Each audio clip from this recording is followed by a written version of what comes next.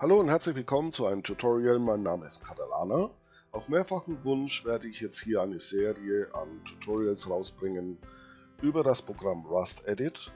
Und heute möchte ich euch den Unterschied zeigen zwischen den Procedural Maps und den dazugehörigen Ladezeiten. Eine Procedural Map herzustellen ist ganz einfach. Wir gehen hier auf Neue Map, nehmen eine Größe von 6000 gehen auf eine Bodenhöhe von 501. Das ist praktisch die äh, Bodenhöhe, die dann auch mit der Wasserkante übereinstimmt, also die gleiche Höhe hat. Und wir lassen jetzt hier mal die Voreinstellungen von der HiMap Auflösung. Dann klickt ihr einfach auf Erstellen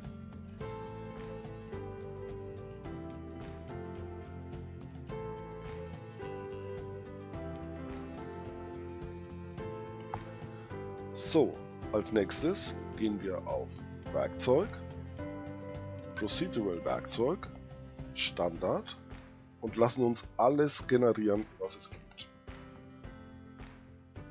Bestätigen und dann dauert das Ganze einen Moment.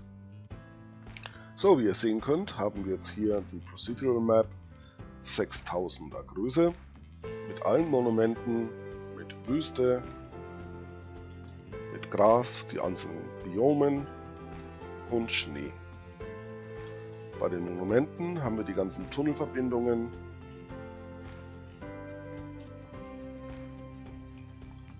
Hier die Tunnelverbindung, ich mache mal Ansicht Wasser aus. Also, die Monumente sind jetzt alle miteinander verbunden, den Tunnels. Hier mal Tunnel Editor, ah, nicht Tunnel Editor, sondern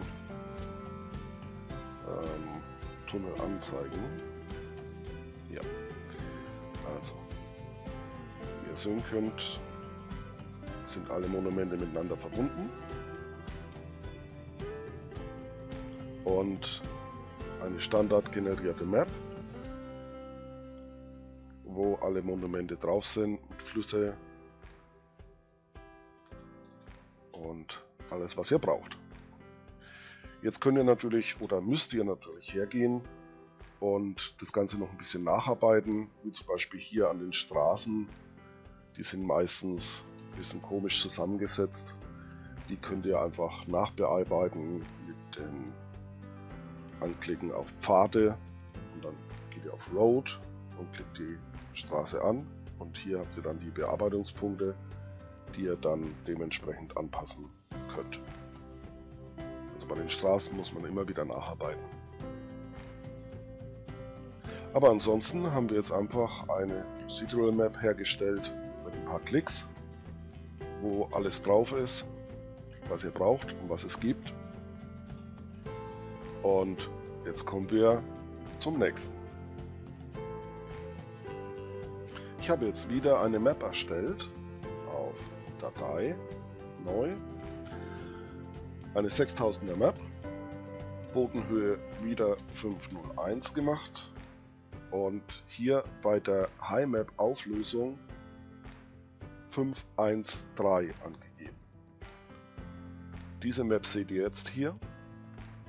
Es sind wieder alle Standardmonumente dabei, alle Felsen, alles was ihr braucht und von Rust kriegen könnt.